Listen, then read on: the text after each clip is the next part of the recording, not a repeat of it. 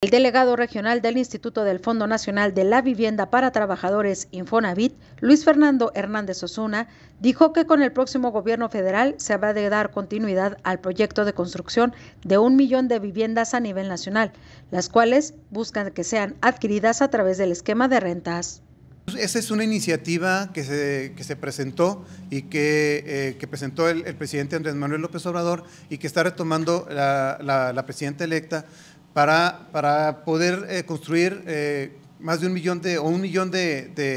de, viviendas a nivel nacional, 500 mil a través del Infonavit, donde esta construcción de viviendas eh, vayan a ser, van a ser para, para que el, el derechohabiente pueda ejercer su crédito y comprar una vivienda o pueda arrendar una vivienda eh, este, con una opción a compra, de tal manera que a los 10 años de estar pagando esta, esta vivienda pueda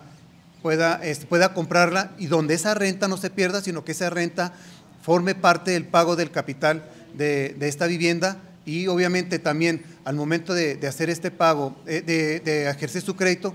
se, tomaría también el ahorro de su cuenta de vivienda, lo cual el saldo que, que quede de, del pago de esta vivienda pues ya sería menor y es donde tendría el acceso eh, este, el, el, trabajador a una, a una, a una vivienda comentarte el, cuál sería el valor de la vivienda. El valor de la vivienda sería el que al principio se tome cuando empezó a rentar la vivienda. No se tendría que actualizar al momento de adquirir el crédito. Con imágenes de Joel Favela, reportó para Notigram TV, Pamela Estrada.